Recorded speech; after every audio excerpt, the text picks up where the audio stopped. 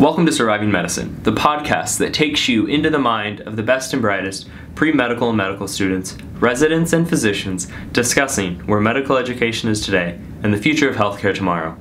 Each week, we bring you an inside look at how to survive medical education and how to thrive as a practicing physician balancing work, patients, family, and friends.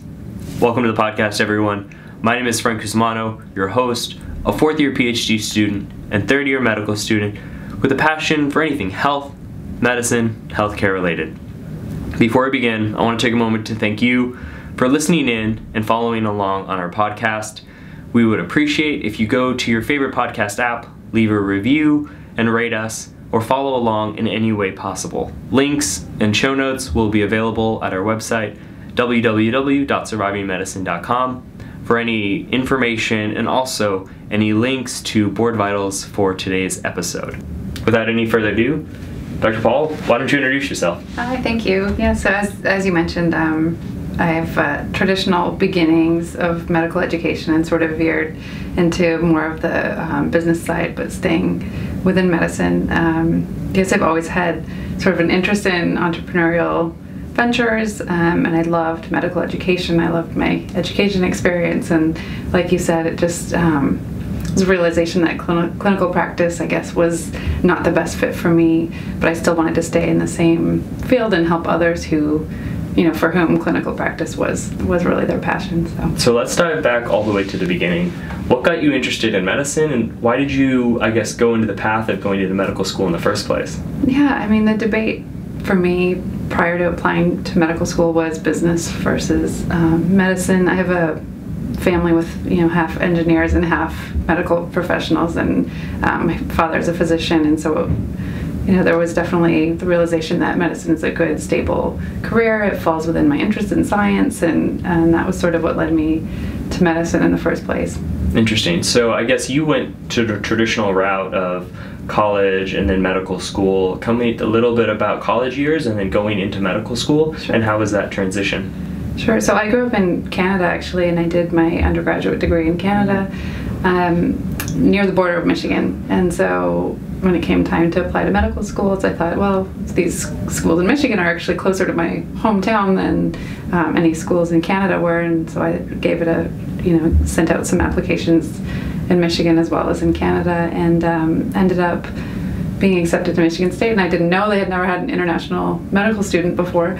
Um, so it was an interesting learning curve for them to, you know, they didn't realize they needed a visa, and so all of that, all of that uh, worked out in the end. But um, and I ended up there, and I, I had a great educational experience at Michigan State. So. So that's actually really interesting. So I have we obviously we, we own an, an admissions company that and our listeners know this that we help students get into medical school for anyone that is is applying. Mm-hmm. Um, and I had a student yesterday from Canada who got Okay. into Michigan State. Yeah. And it's really funny because now they actually have and this wasn't like that I guess when you went through their Mhm. program, but now they actually have a what's a, called a Canadian initiative, Mhm. um, and that it, they specifically have a set number of spots in their school set for Canadian applicants because they know that getting Canadian applicants into their school may be good because then they're typically going to go back, but they're going to Mhm. practice right near the border, which is like great for Mhm. both countries. But there's that's kind of sometimes the hardest place to practice. Okay. Oh, that's interesting because I know, you know, the year after I came in, there was one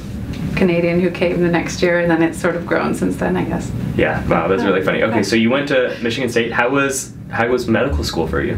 So it was a pretty, I think, traditional, um, common medical school type experience. Um, one unique program they had there that was an international, the opportunity for an international rotation. So I enjoyed that a lot. Um, we went to Central America, both third and fourth year, um, to do international medicine. So Was that multiple months or is it like? A, Yes, it was three months in third year and then one month in fourth year. Oh wow! So that Yeah. was. Were you speaking? Were you in kind of a rural environment then? And hmm Both had um, we had to learn Spanish, which for some people was easier than uh, for me, who had never spoken a word of Spanish before then. But I went to French school um, in Canada, so it was a little overlap. And then um, we were sent to various rural um, clinic sites as well as urban um, sites as well. Wow, that's really interesting. So it's interesting to think about that dynamic of um, being over here from Canada, going to an American medical school, and then just slowly moving farther down south.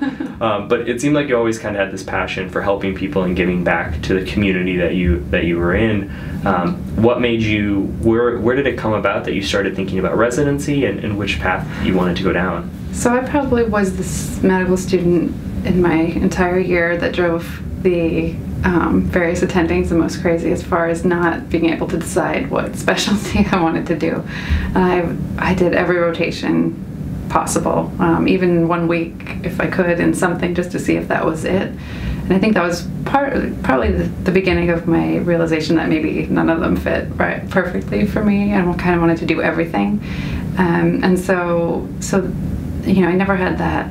I saw one by one all my classmates finding their calling, you know, like, oh, we did this rotation, this is perfect, I love it. And one by one, everyone had sort of categorized themselves, and I was left like lost. So, um, so that's why I went the internal medicine route, thinking it was broad and general enough that I could hopefully use that first year to figure out.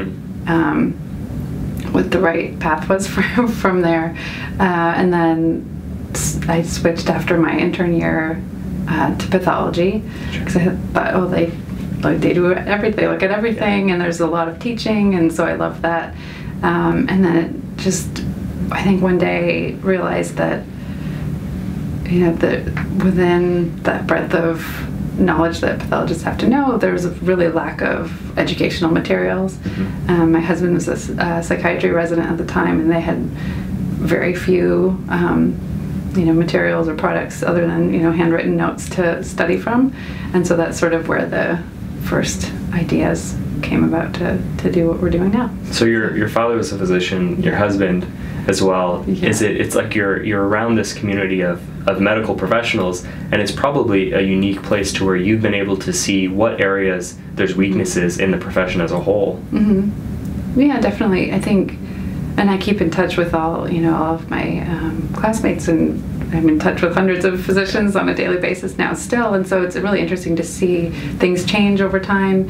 Um, satisfaction in different specialties really can change just based on little policy changes or you know administration changes in a hospital, and so I I love doing that. You know, a lot of people say like once you leave, don't look don't look back, but I love looking back and I love catching back up with all of my clinical physician friends because it's so interesting to see their insights and hear, you know, what's rewarding about their jobs, what's what's a challenge or a difficulty or something that, you know, a pain point for them. And it varies a ton from one specialty to the other. So that's interesting. What were you? I guess going through going through medical school and going through residency, besides just board examinations um, or licensing exams, mm-hmm. where where did you felt like there was a weakness? I guess in medical education, because I'm I'm you're obviously going more towards the board certification and licensing exam disruptions. Like you're mm-hmm. going towards to helping push physicians in that way. I'm really interested in medical education. I want to stay as a teacher. Mm-hmm. I want to stay as a professor, and I think that there's some disruption yeah. that's needed in medical education, um, as rudimentary as some of it is. Um, yeah. What what areas do you think, or do you, looking back, do you think you know you could have done differently, or do you wish that your school had done differently? Yeah, I think one thing I didn't realize was that every school is completely different, um, and that really you learn that when you get to residency, and that you can see you know what experience people have had before or not and where, where there may have been gaps. And i think um, so you know my school specifically i felt had a great focus and primary care focus. Um, and when we got to some of the you know rotations like icu it was a little more difficult. So i think one one big gap would be just bringing everyone up making sure everyone at every school is up to par for every rotation particularly if they go into a primary care or like a, a general intern kind of year. Um, so I felt like maybe you know that could be improved. Um, and then just technology. I mean, there's so much that's still done in such an inefficient, low tech way that it doesn't make sense anymore. so I think, um, and that's that's improved a lot. I know most of the schools now have you know all, everything um, available for the most part electronically, and, and there's less paper charting and stuff. But I think it used to be quite, um, you know, you'd spend more time doing something manually that Mm-hmm. you know you could pick up easier through technology. So It's interesting because there's now, I don't know if you know, the AMA does like these initiative grants, especially for medical education. And it's really interesting because some of the schools have put in um, big frameworks to do more gaming education, which is learning to be a physician through games and through more simulation based stuff, which is to me really interesting to think about, uh, you know, using a different model of education as opposed to just traditional book reading or or just you know doing practice tests. It's like these other models may be able to active, activate other pathways that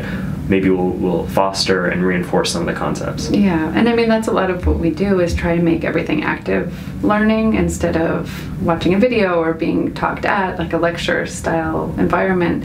Um, when you're having to interact, you have you have to choose an answer. You have to click. You have to be actively engaged with the platform. I think there's just way higher retention. So I think anything that um, medical schools could do to make it less lecture type based and more interactive would be would be a big improvement too.